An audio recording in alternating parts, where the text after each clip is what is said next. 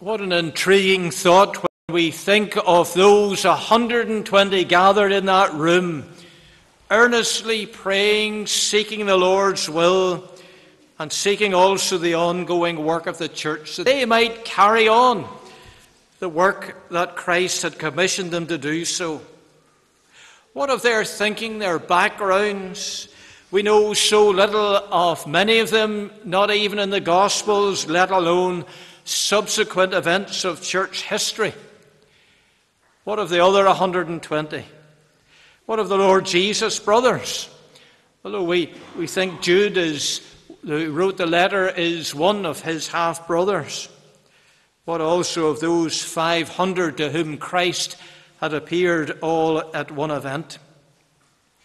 But here they were from many walks of life, united together in purpose in love and in faith, following the Lord Jesus. What is it that would hold this group together? What is it that holds us together if people were to do a survey of our life, our background, our where we live in our community, our income status, and, and so many other ideas that people could categorize individuals within the church? How can a group of such disparate people come together. And yet, this is the question for the church. We thought about that even in our study in the letter to the Ephesians. How would Jew and Gentile be together? Well, it is through the love of the Lord Jesus Christ. It is through faith in the Lord Jesus Christ and that common purpose that unites us with confidence proclaiming who Jesus is. But what were they waiting for? Well, it was a person to come, the Holy Spirit. What then are the marks of the church that we see clearly in this passage? Well, firstly, as we look at those verses 12 to 14, unity marks the church. So it says marvelously in verse 14, these all continued with one accord in prayer and supplication.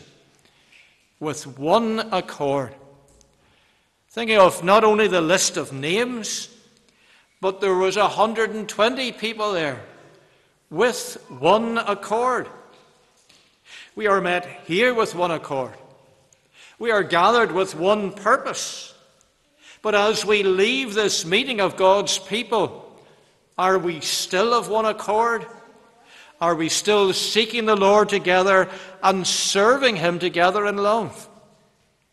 We do meet and share an interest in the Lord Jesus Christ. But it's more than an interest that we share. We share Christ. If we are Christian people here this morning, we have been saved through that single event Christ's death upon the cross one price paid for all who have come in repentance and faith. And you have been set aside, sanctified as saints, redeemed. And each day we trust becoming more like the Lord Jesus. But these men and women who were gathered in this room, largely they would have been Jewish, as, as we can probably imagine. And they were very aware of being a people together. The whole idea of being a covenant people, God having entered into a promise with them, and the very promise held out to them through the sacraments of the Old Testament church, were those outward signs that sealed the promise. Even Jews scattered throughout the nations, as they had been in their history, had this idea of unity. But now this needed a new sense of unity to extend to the Gentile world. And this new unity was through faith in the Lord Jesus Christ, through love between Jew and Gentile, and a purpose that would extend where the church itself would be a light to all the world. But what is fundamental here in these times, this particular historical moment, is that they had been witnesses of the resurrected Jesus. They had seen him. It doesn't give an indication in, in Scripture of Mary meeting the risen Jesus. But we presume by the nature of the account that she must have done. Could you imagine that? The one who stood by the cross of her son, watching him die, meeting him raised from the tomb. Of those also gathered who had doubted, who had denied the Lord Jesus, having seen the risen Jesus victorious over death. You see how the resurrection is central to the message how we carry on. How it is explained to us as Christ explained to those friends in Emmaus, those back in Jerusalem, teaching from the scriptures, from Moses, from the prophets, from the Psalms, that these things should be. How the Word of God challenges us.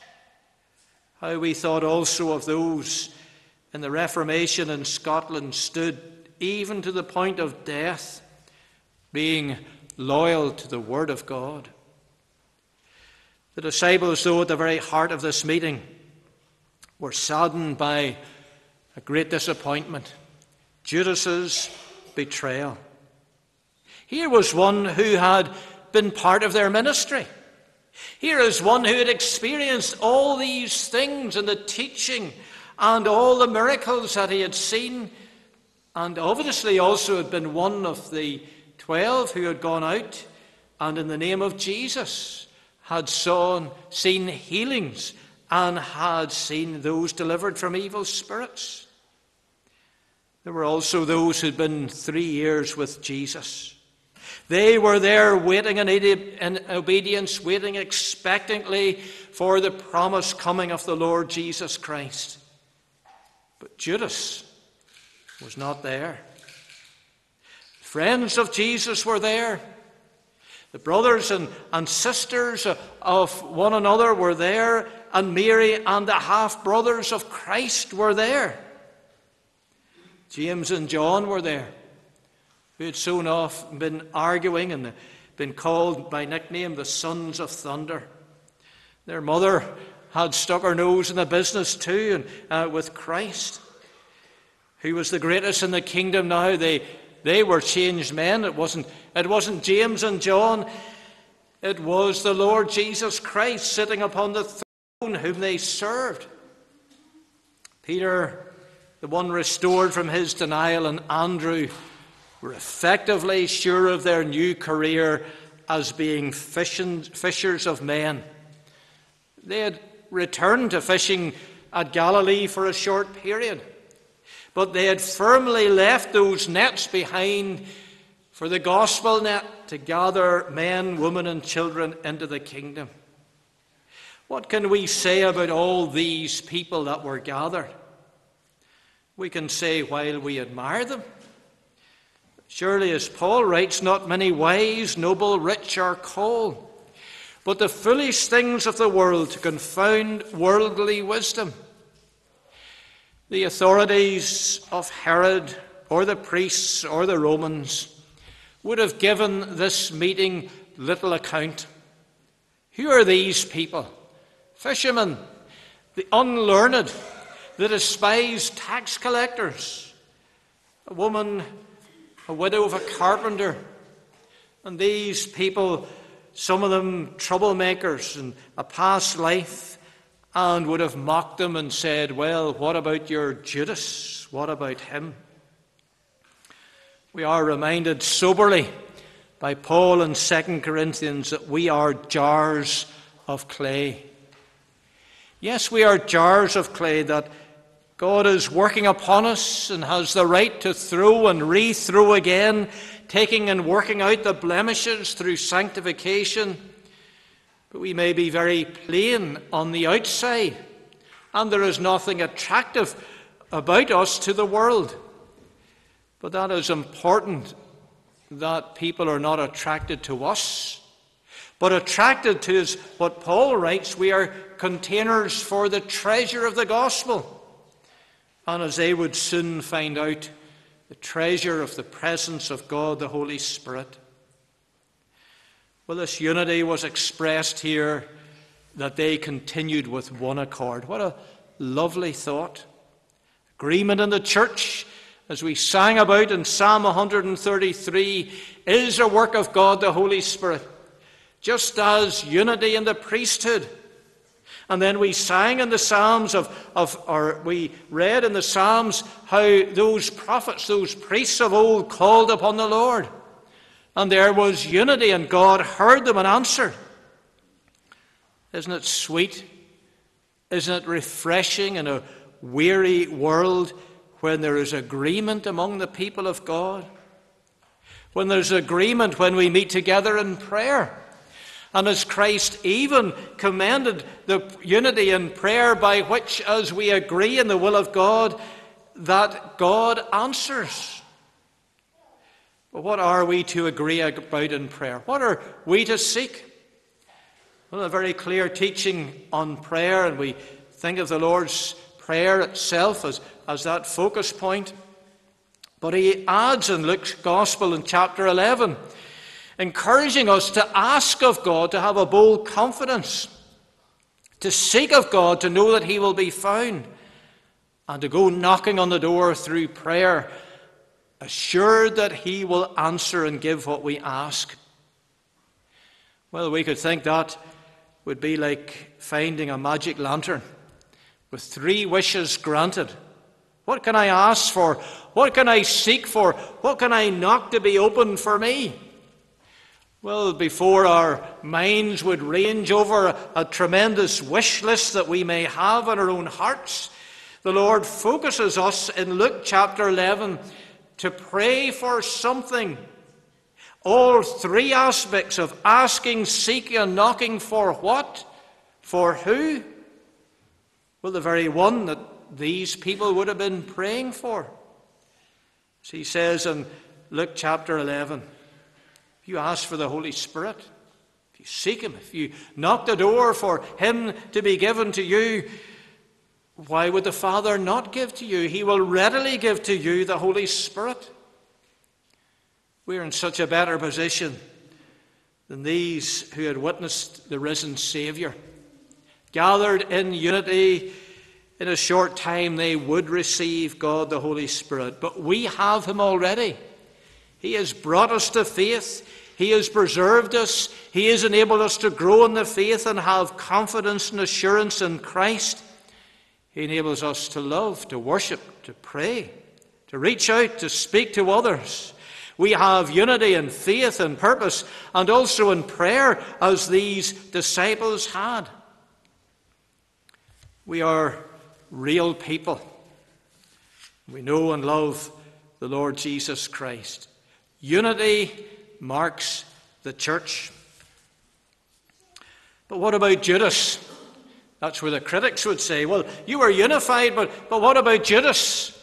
Isn't he the fly in the ointment? the great things that you're professing. We'll just sweep him under the carpet, pretend that he didn't exist. And sometimes this is how the church deals with failure. But we see, secondly, in verses 15 to 20, failure does not define the church.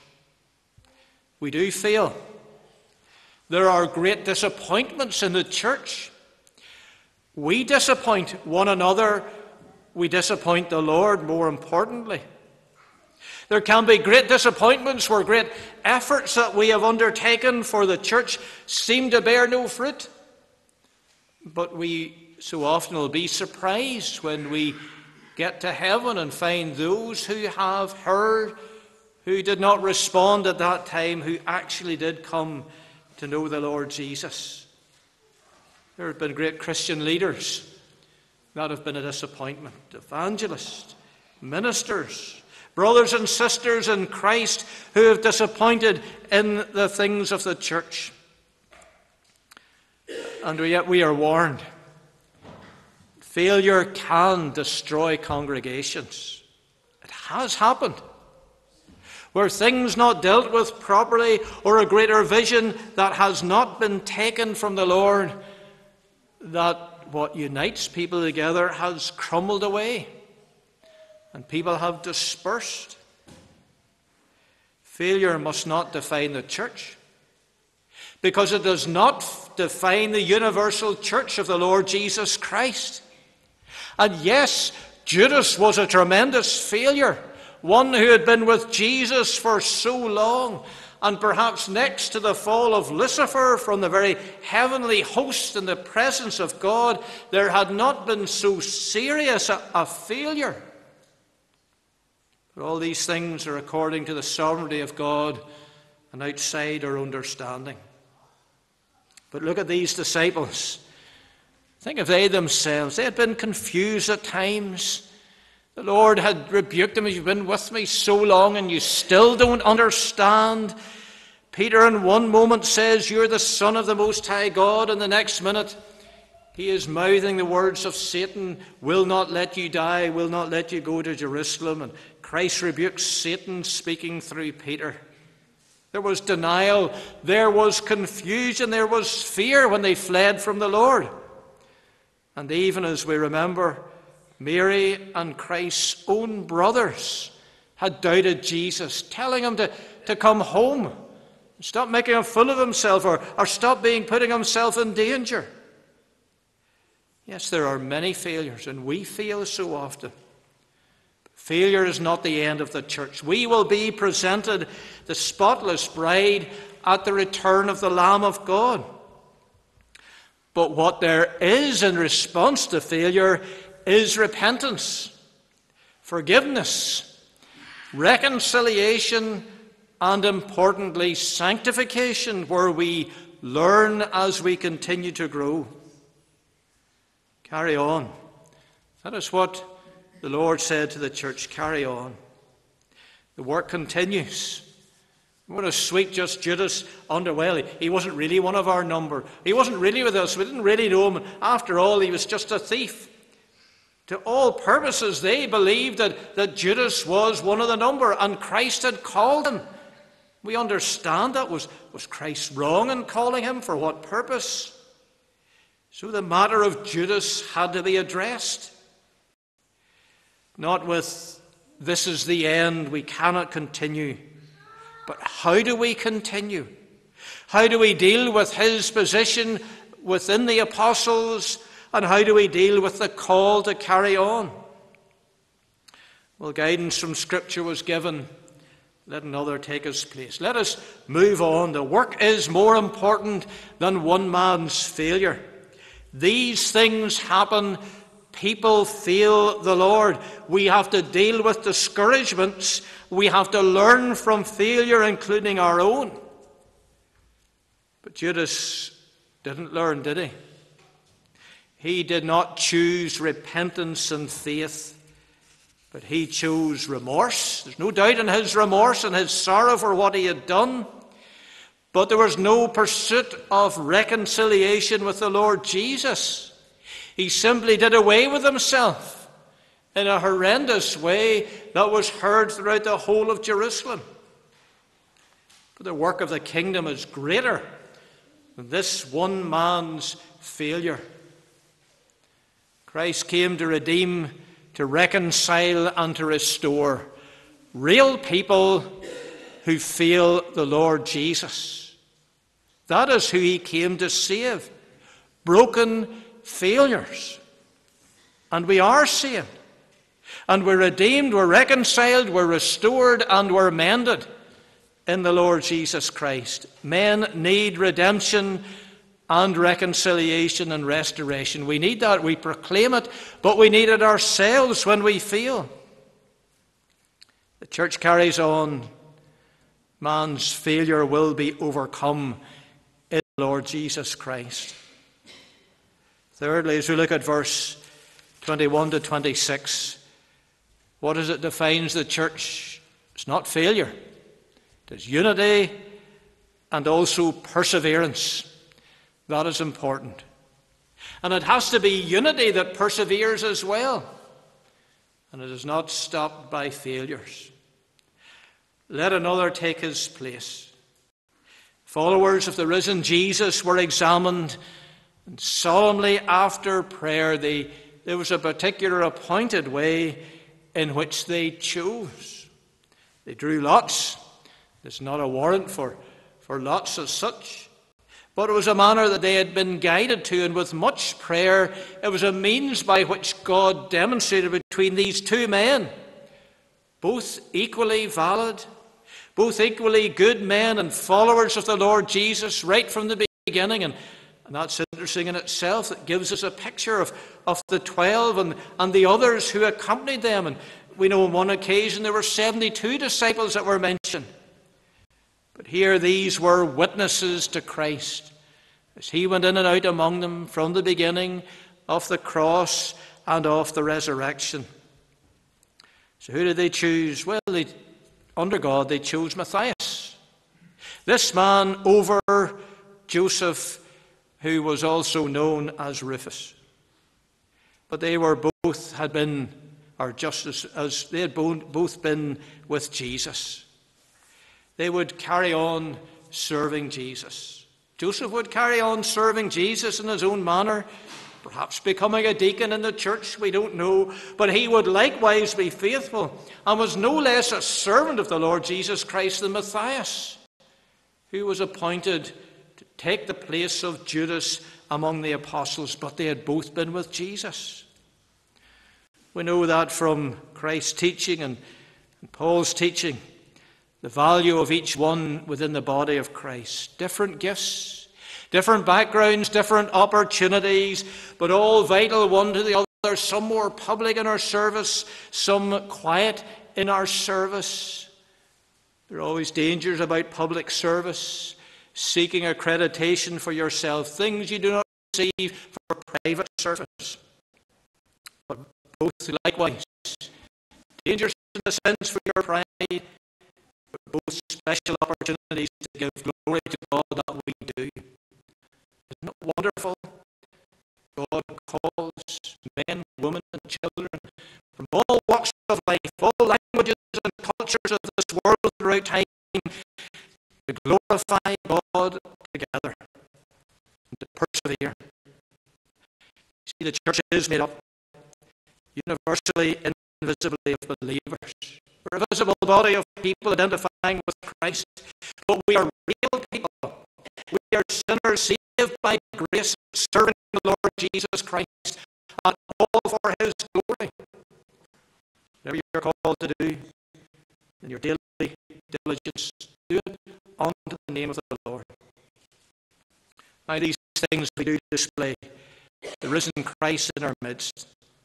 He is seen in our unity that unity is seen in our perseverance, greater than our failures that we deal with. So we joined together in Christ. We're joined in faith, we're joined in love, we're joined in purpose to show the risen Saviour.